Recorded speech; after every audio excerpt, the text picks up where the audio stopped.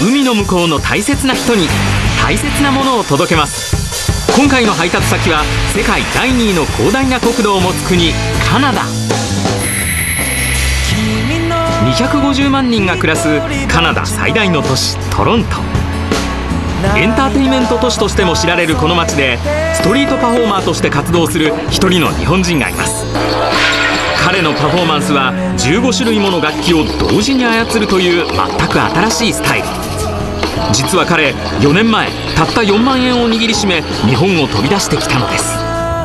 そんな息子を心配するのは離婚後一人で暮らすお母さん。やっぱり生活面食事をちゃんとしてるかとかほとんど食費もないような状態のもあったみたいです。草草を食べた草を食べた。はい。想像がつきません世界中を転々としながら活動してきたこの4年間。母親にはほとんど連絡することもなく自分だけのパフォーマンスを追求し続けてきました。そして今30歳という人生の節目を迎え届けられた母からの思い。息子はどんな気持ちで受け取るのでしょうか？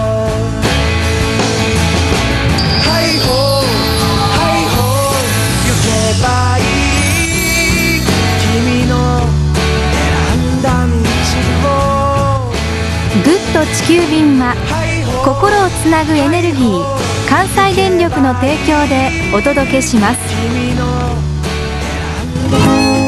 さあえ今回はですね大阪とカナダを結んでみたいと思います。行ってみましょう。じ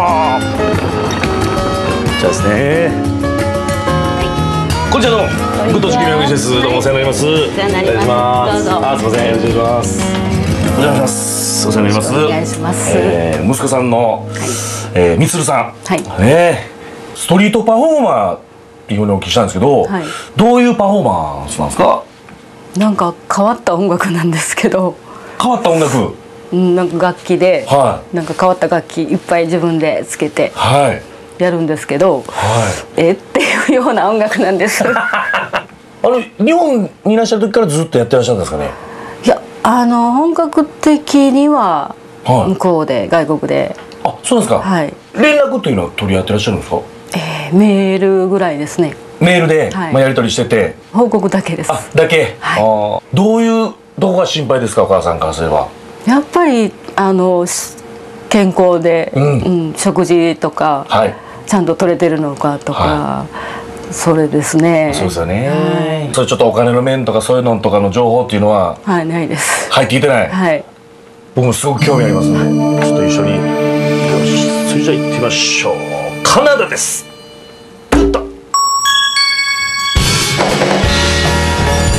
カナダでストリートパフォーマーとして活動するみつるさんにお母さんの思いを届ける旅はおよそ1万700キロ。14時間。カナダ最大の都市にして世界有数のマルチカルチャー都市トロント。先住民の言葉でトロントとは人々の集まるところ。古くから移民を数多く受け入れてきたこの町は国際色豊かな町として知られています。早速みつるさんとの待ち合わせ場所へ。これ ですね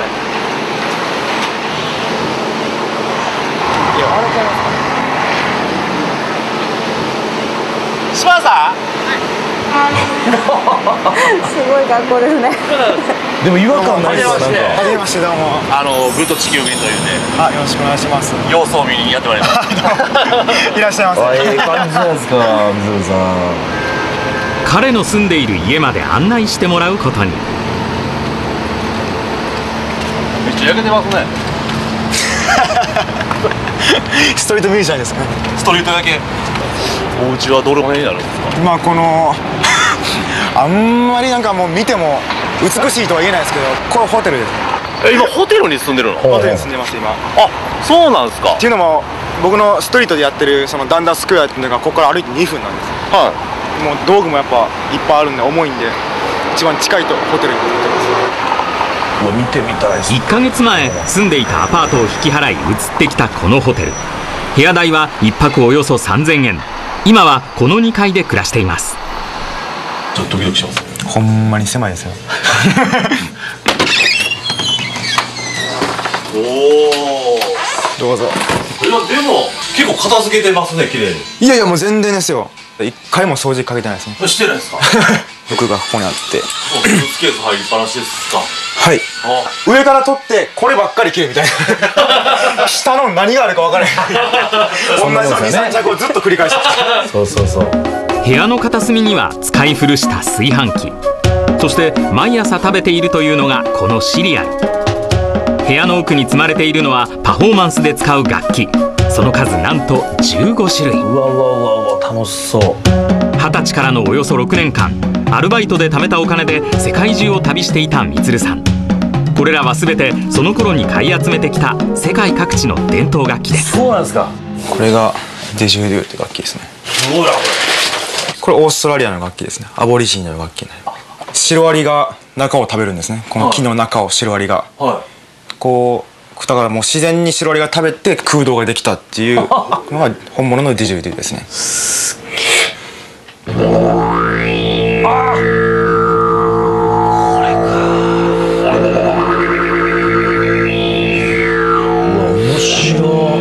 ラリアのアボリジニが儀式やヒーリングに用いるというディジュリドゥの音色。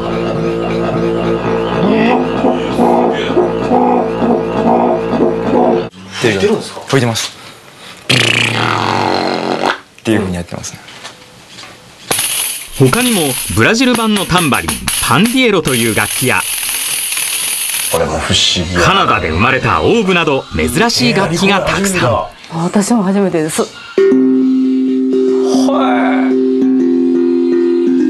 これらの楽器を組み合わせて使うみつるさんのストリートパフォーマンスとは一体どういうものなのか？うんものすごく興味ある。ストリートに出かけるということで早速同行することに。ギターもあんのねすごいなこれ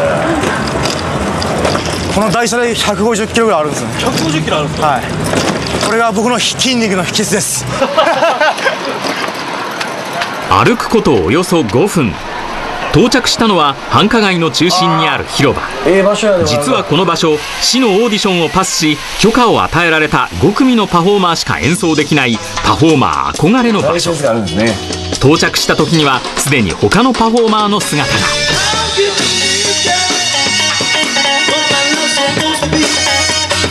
このバこのバンドが爆音なんですよ。ドカーンって爆音なんですでも音負けじゃなくてパフォーマンス負けせんように。着々と準備を進めるみつるさん。いろんな楽器が定位置に並べられていきます。そしていよいよパフォーマンススタート。彼の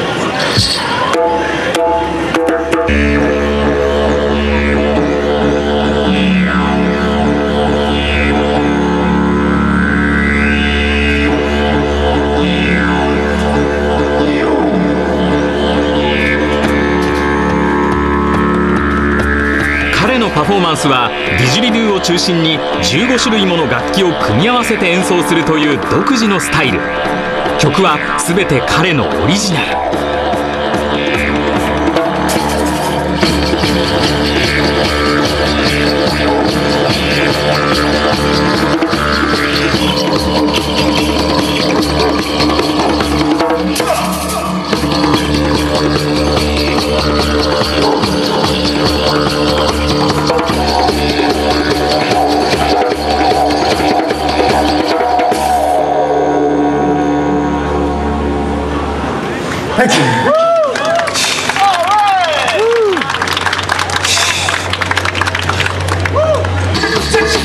ワンステージ40分ほどの間に演奏するのは7曲。いつの間にか集まってきたお客さんの数はおよそ150人。チップを入れていくお客さんの中にはお札を入れていく人も。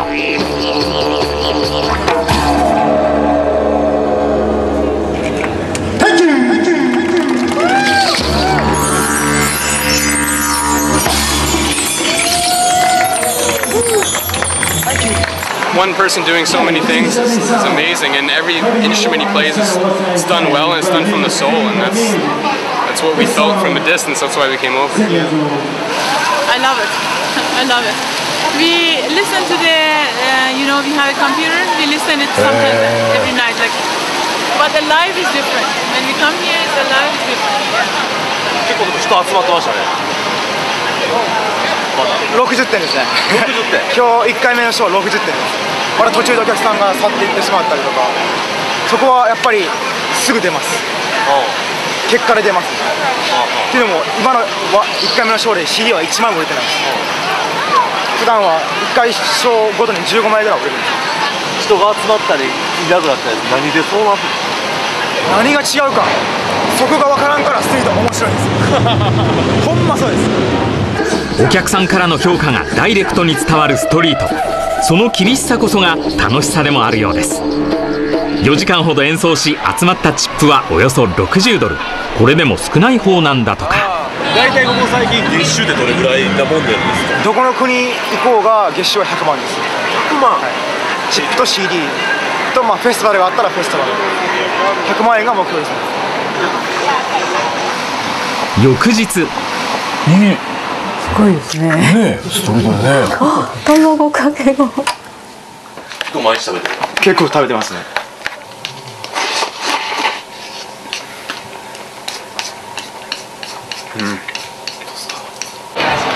部屋で腹ごしらえをした後みつるさんが向かったのはトロント市内で行われているイベント会場。ここで世界中の有名なストリートパフォーマーが集まるフェスティバルが行われているのです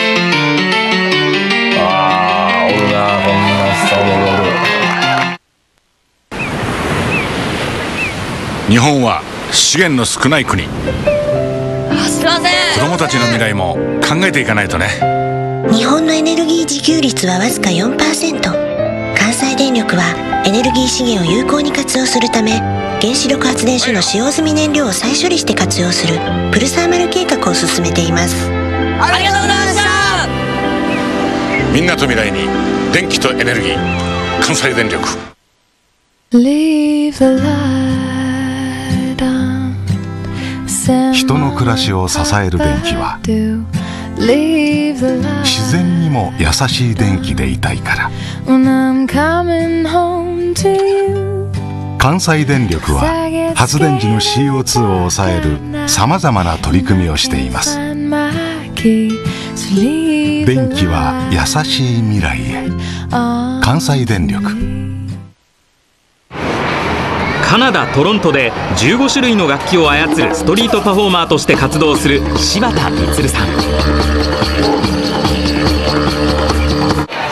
この日充さんが向かったのはトロント市内で行われているイベント会場。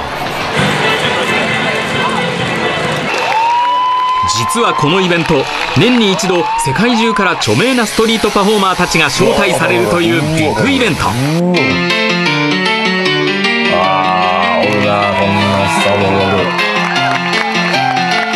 ベテランパフォーマーたちの華麗な妙技の共演。すげえねこうした機会はみつるさんにとっていい刺激を受けられる場でもありまた挑戦の場でもあります。すごい盛り上がりますよねお果たしてお客さんは足を止めてくれるのでしょうか？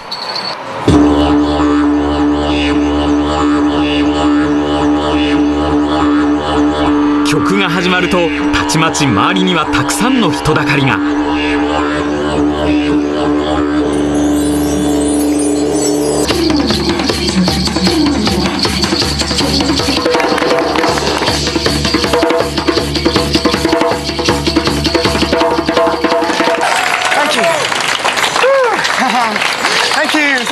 演奏が終わると続々と投げ入れられていくチップ。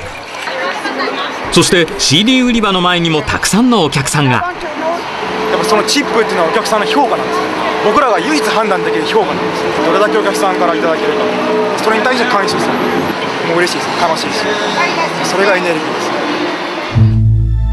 4年前世界の民族楽器を融合させ独自の音楽を作り出したいとわずか4万円を握りしめ日本を飛び出したみつるさん。以来世界各地で演奏を続けてきました。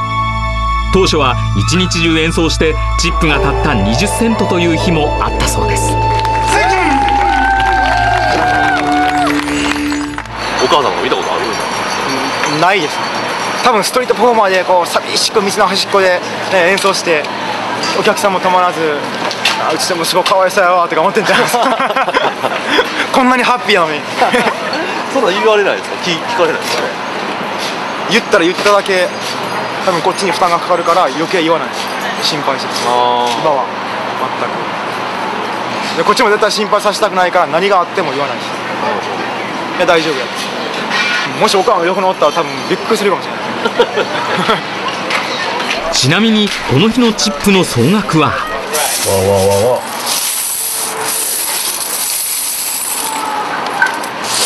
これで250から300ぐらいそれを敷いて合わせて今日で1200300ぐらいですそうです大丈夫ですね収入は問題ない、はい、大丈夫ですお母さん大丈夫です。いいっすね。ストリートってやっぱ。翌日は1週間ぶりの休日。ホテルに洗濯機がないため溜まった洗濯物を持ってコインランドリーへ。遊びに行くことはほとんどないそうです。ストリートで稼いだお金は楽器を購入したり違う国に行く時のために貯金しています。小学生の頃から共働きだったお母さんのため家事や洗濯をしていたというみつるさん。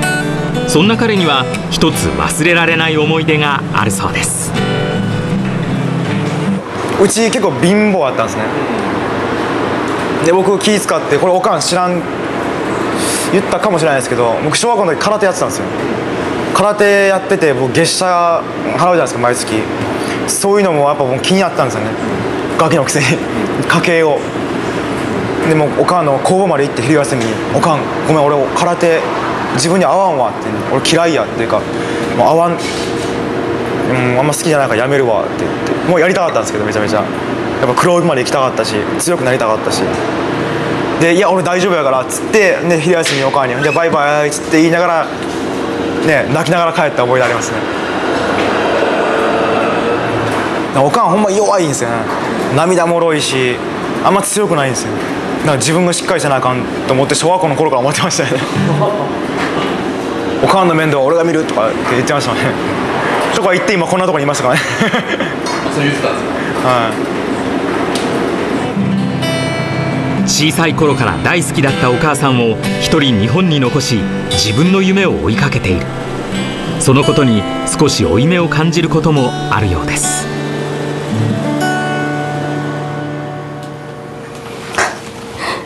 ええ息子さんじゃないですかお母さん水さんね。ありがとうございます。いやー。そういう話っていうのはご存知でした、はい。え？え空手ね、い、やーもうほんまお母さん重いの。ええ息 子さんですねほんまに。いかがでしたかみつさんの空手での？あすごく良かったです。あれ人があれだけ集まってるっていうのはすごいですね。ね、はい。すごかったっすよ、まあいても数人ぐらいかなっていう感じだったんですけど。ははい。すごいですね。いいやいやいや。じゃらじゃらでしたよ。お母さん。そうですね。すごかったですね。すっごい。子供の時ってどういうお子さんだったんですかみつるさんは？あのもう泣き虫で、は怖がりで、は虫と見知りでもう私の後ろに隠れるぐらいの子でした。うちのおかん泣き虫でもう弱いからそこにそのままあんたに返すわとそのことは。い、そうですね。小学校の時に、うん。あのピアノをちょっと習ってたんですよ。ピアノ？はでそれでい、うん。発表会があるじゃないですか、はい。それから少しずつ変わったようなこう自信がついたっていうか。人前でやるということを、はそれぐらいからですねちょっとずつ積極的になってきたのが。あすごいですね。だから今の姿やっぱりもう見たらそれはもうびっくりされますお母さんもね。たくましいです。まあいろいろとね旅してまあたくさんの人と出会えて、いろいろ教えていただいたんやと思うんですよね。そうですね。それで成長させてもらって。うん。お母さんからお届け物をさせていただいてるとね、えーしていただいてるということでそこもちょっと引き続き見てみましょうこの日みつるさんは町外れにあるライブハウスへ。実はこの日は30歳の誕生日。日頃お世話になっているファンや仲間を招きバースデーコンサートを開いたのです。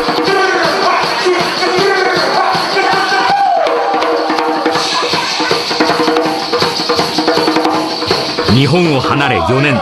その間にこうして支えてくれる仲間ができたこと。それもみつるさんにとっての大きな成果ですこの日最後に披露したのは普段はあまり演奏しない曲カナダに来て唯一作った日本語の歌です最後に一つの輝き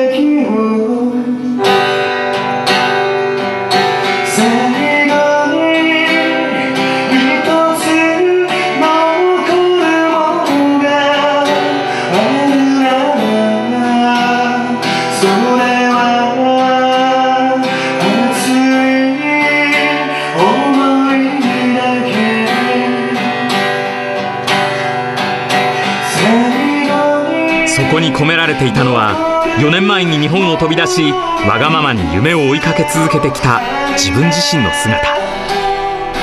その胸にはいつも日本に置いてきたお母さんに対して申し訳ない気持ちがあると言います。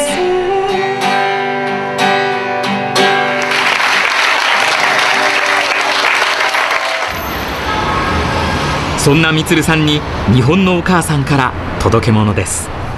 お母さんからの届け物です。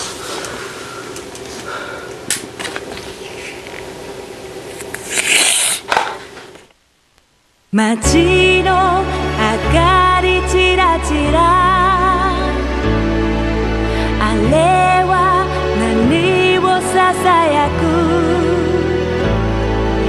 愛が一つ芽生えそうな。胸が弾む。いつまでもどこまでも続いていく明かり灯し続ける。関西電力。僕も時には熱くなる男だけど。地球はこれ以上熱くなったらかなわんね。関西の電気の約半分を支える福井の原子力発電は水力や太陽光などと同じく発電時に CO2 を出しません。美しい自然を残していかないとね。みんなと未来に電気とエネルギー関西電力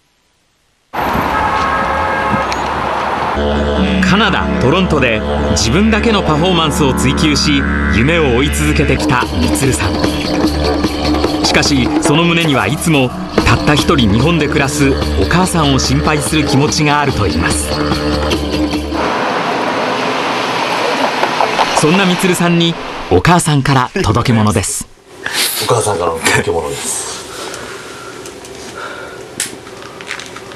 あなんか想像できる気がする。あ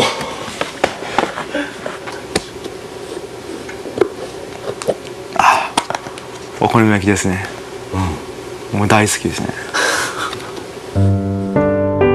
届け物はお母さん手作りのお好み焼き。みつるさんが小さい頃から大好きだったお袋の味です。おかん作ったんですかこれ？俺おかんの料理食うのめちゃめちゃ久しぶりですね。もう記憶にないですもんね。いただきます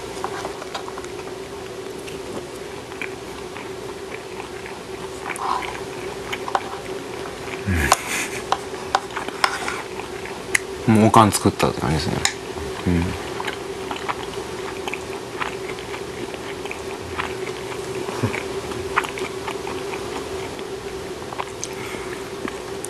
いやでもカナダでこれは食いたくないですね。会いたくなりますよね。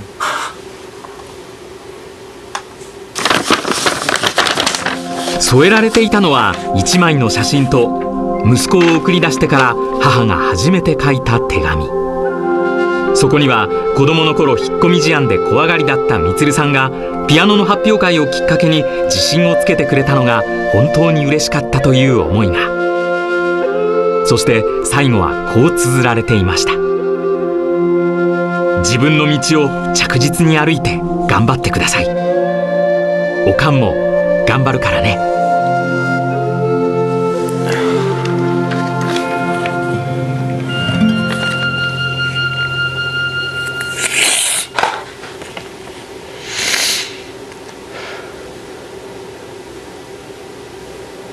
まあ、おかんのこう手紙と写真ありがとう、俺は一人でずっと一人で一人で旅してて一人で頑張ってるって思ったけど、うん、やっぱおかんがおって支えてくれてずっと生まれた時から見守ってくれる人がおるっていうのはほんまに俺にとって心強い、うん、ほんまに感謝してます、で大好きです。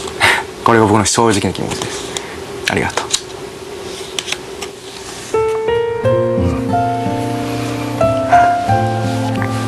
さんの言葉どうでしたか？嬉しいです。遠く離れててもね親子は親子だし愛する人は愛する人だしだから頑張れるというかそれを水さんしっかり持ってらっしゃいますよね。よかったです今日見れて。どうですか？今後ねみつるさんに対してお母さんの気持ちっていうのは？早く結婚してほしいです。そこですか？次回のお届け先はドイツ。ここにトランペット制作者として世界で活躍する日本人がいます。19歳で日本を飛び出しもう22年。家族を顧みることなく夢を追い続けてきた息子へ母が届ける思いとは？グッと地球便は心をつなぐエネルギー関西電力の提供でお届けしました。